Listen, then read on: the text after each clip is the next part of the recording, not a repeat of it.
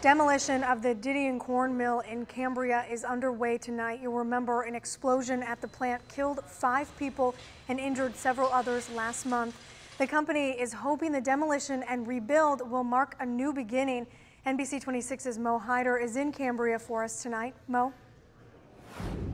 Yeah, Megan, as you can see right behind me, that demolition is still going on. They've been going at it since about 10 o'clock this morning, and they could stay here all week. Now, that portion that you see right behind me is sort of like a warehouse where the ethanol production did occur. Now, Didion says they're glad to put everything in the past. It took a lot of time to get to this point, and they're ready to move on.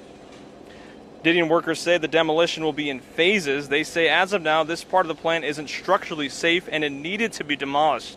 The president of Didion says they want to start the rebuilding process with a clean slate, but there's a bigger meaning behind it all.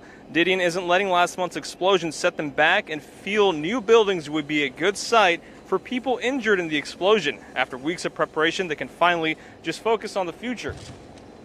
Um, I, I, know that you know a good portion of it was uh, getting through getting through the process and, and, the grieving process, and you know, like I said, maybe that maybe that part helps in that, and uh, and I think it also is going to help for all of our team, uh, in addition to to the families.